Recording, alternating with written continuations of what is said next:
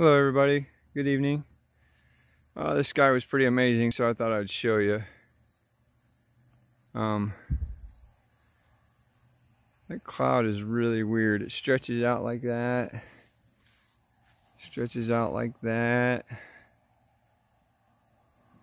That's a pine tree. It's not dead. That's the sun shining on it. Red. Anyway, I just wanted to share that. Caught my eye.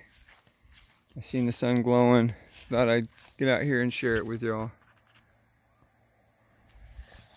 Anyway, just a short clip. Wild and crazy skies. Love y'all.